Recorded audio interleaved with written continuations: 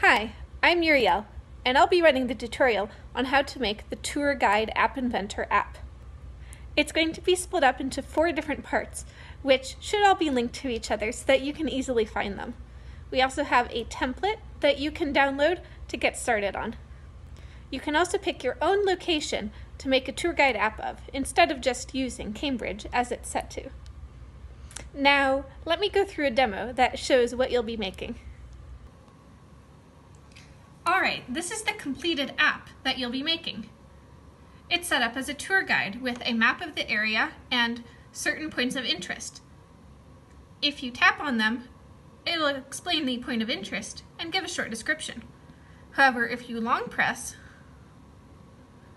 Logan Airport is the largest airport in the New England region and 17th busiest airport in the United States, with 33.5 million total passengers in 2015.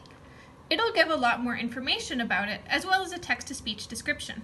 And when you're in a location screen, you can press on Gallery, where you'll be able to go on your tour and take pictures of the actual locations. To do this, you can just press Take a Picture and it will take a photo of the area.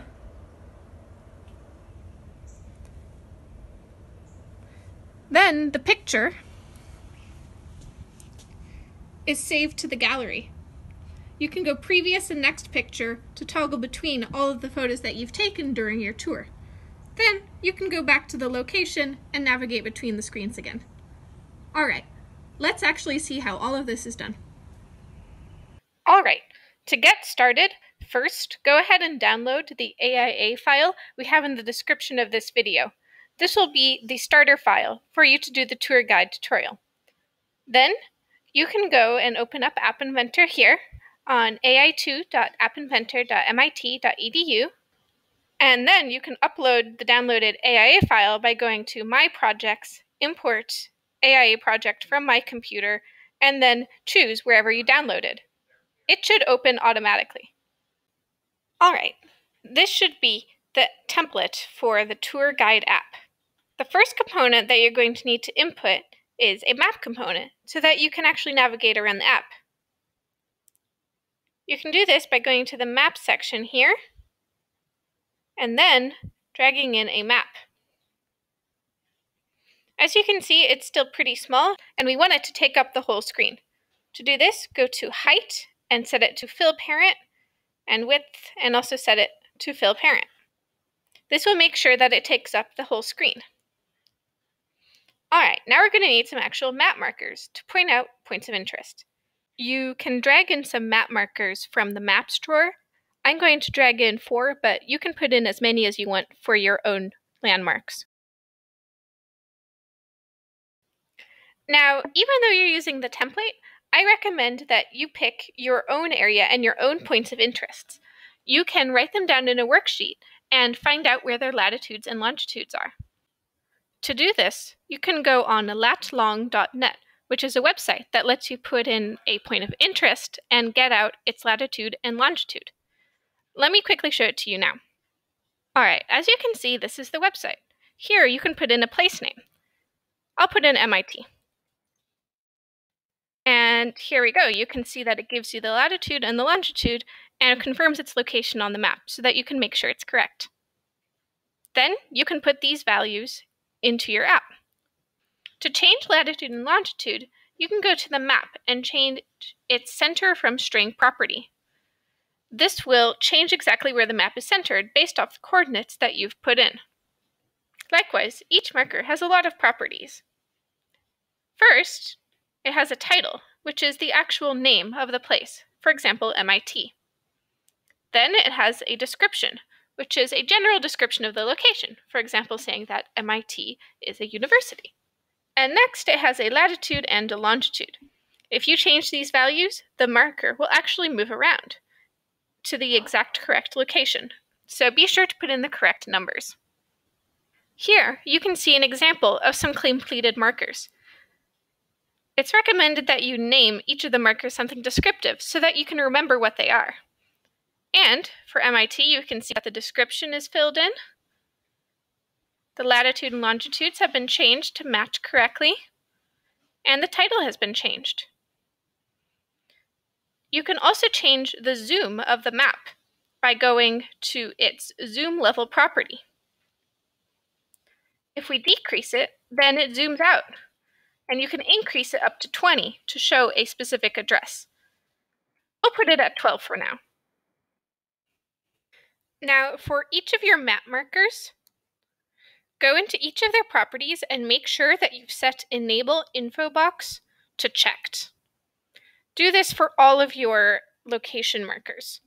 This is very important because the info box is what would show up if you clicked on the marker and it would show the description.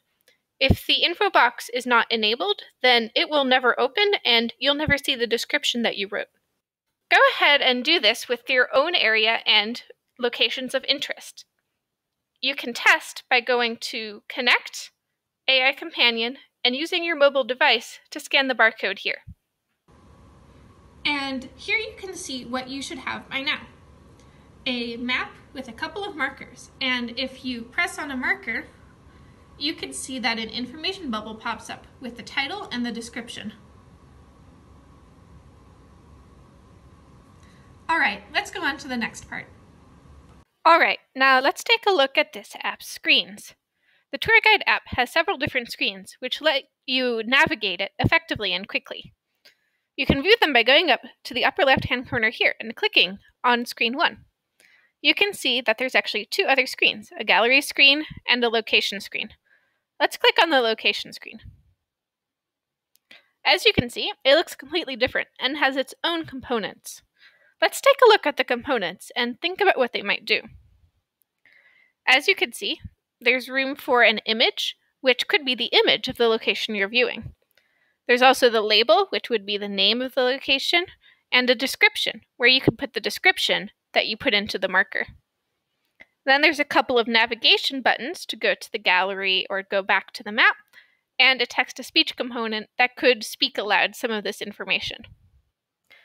Now, note that you can't actually see anything on the screen for the text to speech because it's a non visible component. You can see it down here. There's no part to it that's actually visible on screen, but it works on the background, making a text to speech. The gallery button is also not visible anywhere on the screen. Now, this is because in its properties, visible has not been checked. That way, it might exist in components, but it's actually not visible on screen. This is because we haven't set up anything related to the gallery, so it's just waiting until we need it. Great. Now we need to be able to connect the map to this location screen. To do this, let's go back to screen one. Next, we'll go to the block section. Now, what we want to happen is that when you press and hold down on a map marker, it'll bring you to a different screen that gives you more information about that location. To do that, let's click on one of the map markers and do when the map marker is clicked for a long time. Well, when it's clicked for a long time, you want to go to the location screen and display more information. To switch screens, you can go to Control and do Open another screen. This will open another screen with a specific start value that you can keep in mind. So which screen do we want to bring it to? We can check again here. We want to bring it to location screen. So let's go to text, put in an empty text box, and type in location screen.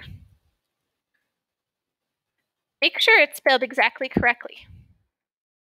Now, the start value we want is the actual location that you clicked on. So, for example, if you click on Logan Airport, you wanted to show information about Logan Airport, not about MIT. So we need to specify that. Let's click another text box, go to the start value, and tell the screen that it got here because you clicked on Logan Airport.